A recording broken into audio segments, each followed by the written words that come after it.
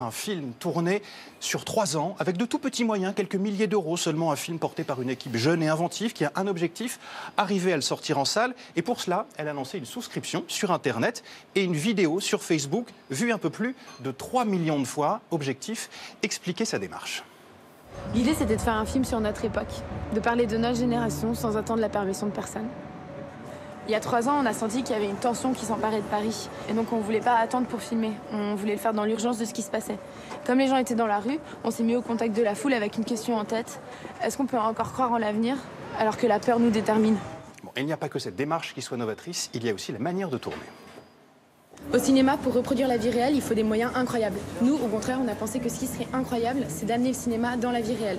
On n'avait pas de moyens, alors on a cherché le plus petit dispositif possible pour se fondre dans la ville. Au lieu de reproduire la réalité, on a essayé de complètement l'intégrer. Ça veut dire aussi qu'on a accepté de ne pas contrôler ce qui se passait autour de la caméra. Et on a cherché à être dans des endroits où il se passait des choses. Dans un film traditionnel, tous ces gens qu'on a autour de nous auraient été des figurants, alors qu'avec ce dispositif, tout peut arriver. Le réel vient complètement balayer la fiction. Bonsoir Noémie Schmitt. Bonsoir. Merci de votre présence sur le plateau de C'est à vous. Et bravo pour cette expérience de- cinéma que vous nous offrez. bravo. 3 millions de vues. Vous vous attendiez à ça, un tel succès Ah, pas du tout, non, non, pas du tout. Mais du coup, ça vous colle la pression à tous? Euh, c'est une certaine pression, forcément, mais, euh, mais on garde le cap. Ce film a été tourné sur plus de trois ans et demi. On y retrouve donc tous les événements qui ont rythmé la vie de la capitale, des, euh, des attentats du 13 novembre aux obsèques de Johnny Hallyday. On retrouve aussi tous les mouvements sociaux, citoyens, manifs contre la loi El Khomri, Nuit debout. Vous avez pu filmer sans problème au sein de ces foules, sans aut- autorisation ou c'était compliqué? Euh, on a tourné dans, éno- dans énormément d'événements dans Paris, effectivement. Après, tout ne sera pas au montage final, donc on ne peut pas dire qu'on a fait tous les événements de Paris, mais on en a fait un certain nombre. Et alors, quand vous dites les attentats, euh, on n'a pas filmé dans le... Enfin, on n'a pas euh, de rapport avec les attentats. On a plutôt filmé justement le fait d'être en marge de, de ces événements-là. Et euh, l'histoire parle de ça d'ailleurs, du fait d'avoir manqué de la mort. Et donc, Croire en l'avenir alors que la peur nous détermine. Voilà, ouais. C'est ça parle de ce qu'on nous on a vécu en marge de ces événements aussi. Et alors euh, ce qu'on a voulu c'est être, au contact de la foule comme je dis dans la vidéo.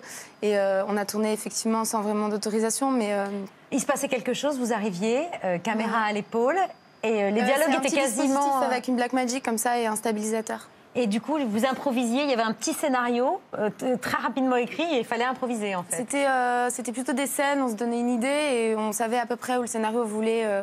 En fait, ce qui était génial, c'est qu'on pouvait expérimenter même au, au niveau du scénario. Donc, on pouvait tester des choses, des scènes, et donc on n'avait pas vraiment de dialogue écrit.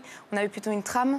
Et euh, avec les autres acteurs, on improvisait et on se servait aussi de ce qui se passait euh, Oui, oui. dans la. Parfois, des, des acteurs étaient des, des gens qui passaient, quoi.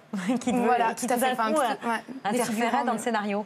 Euh, ce film, ce sont que des professionnels bénévoles hein, qui ont travaillé dessus? Des professionnels, c'est-à-dire des professionnels du cinéma? Oui Euh, Bénévoles qui ont travaillé On a aussi, un- par exemple, un étudiant en anthropologie, enfin un anthropologue. euh, voilà, on n'a pas que des, des gens du cinéma, mais euh, c'est tous des, des- des personnes, des personnes qui sont en lien avec le, monde- le monde du cinéma. ouais. Je le disais il y a quelques, quelques minutes, l'objectif, l'étape d'après, c'est de faire en sorte que le film sorte dans les salles, sur les écrans. Est-ce que vous avez bon espoir que ça arrive? C'est ça qu'on espère. ouais.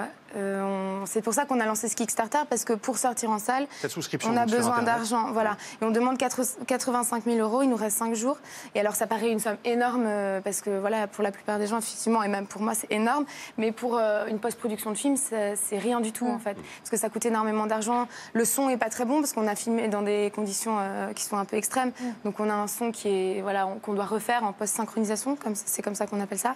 Donc ça coûte euh, voilà de- des techniciens, etc. Et en plus, on veut aussi euh, donner des cachets à chacun pour que pour espérer avoir l'agrément du CNC qui permet au film de sortir en salle. Donc c'est surtout pour ça qu'on a besoin d'argent. Ce qui est intéressant aussi dans votre démarche, c'est qu'à l'origine, ce n'était pas du tout un long métrage. hein. C'était un court métrage que vous tourniez. Et même à la base de base, de base euh, on faisait des tests de caméra parce qu'on avait cette nouvelle caméra, on était super excités de la voir. c'est une et- petite caméra hein, qui est Ouais. de qualité Ouais, cinématographique. et en fait, on était super impressionnés des images que ça donnait et de, nous, en tant qu'acteurs, de pouvoir expérimenter plein de choses aussi. Et donc, du côté de l'image, eux, ils expérimentaient, nous aussi.